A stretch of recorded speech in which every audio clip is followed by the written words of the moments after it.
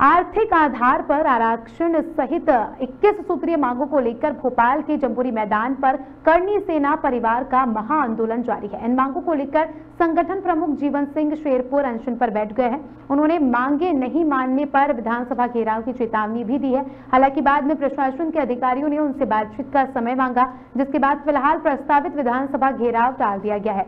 इधर विधानसभा घेराव की चेतावनी के बाद वहाँ सुरक्षा बढ़ा दी गई है।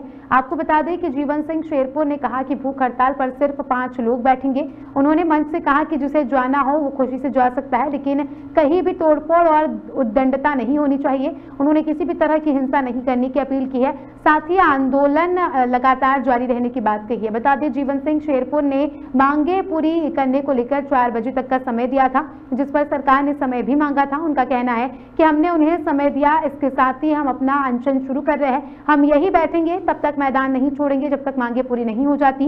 इसके साथ ही करनी सेना परिवार के प्रमुख जीवन सिंह शेरपुर समेत पाँच कार्यकर्ता भूख हड़ताल पर बैठ गए हैं। करनी सेना के कार्यकर्ताओं ने हनुमान चालीसा का पाठ भी किया।